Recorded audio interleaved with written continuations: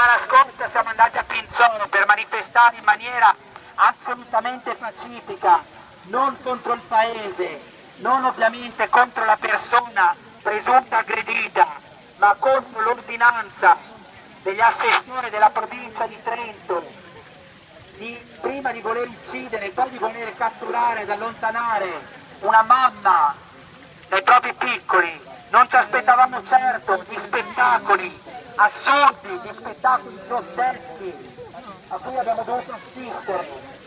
1500 persone sono usciti, ci hanno circondati per manifestare in maniera rabbiosa e incontrollata con spunti, urla, minacce e spintoni, la loro rabbia.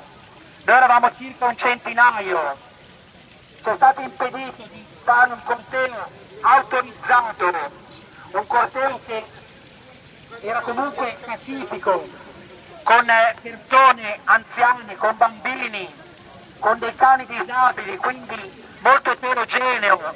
Sicuramente non era un corteo di facinorosi, eppure siamo stati circondati, minacciati e la polizia alla fine ha dovuto portarci via con le camionette, fossimo noi i criminali.